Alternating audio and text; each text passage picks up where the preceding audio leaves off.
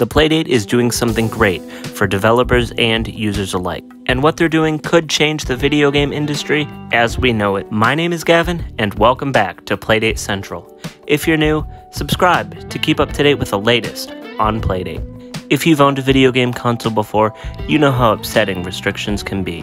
Maybe you didn't find your favorite genre, or you can't play your favorite game because it got discontinued and there's no way to download it. Or if you're a developer, even making a game at all can be difficult because you have to pay a bunch of fees, do a lot of paperwork, and get licensed just to make a game. Not to mention, a lot of profits go back to the company. Well, that's what Playdate aims to change.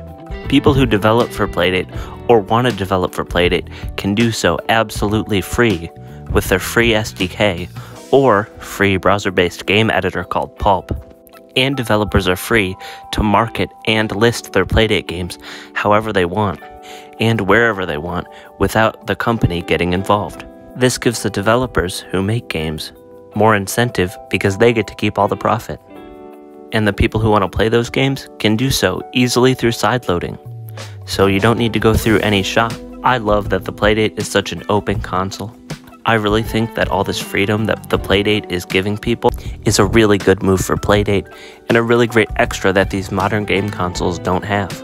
It's wonderful and definitely adds to the charm of the Playdate. Let me know what you think in the comments below.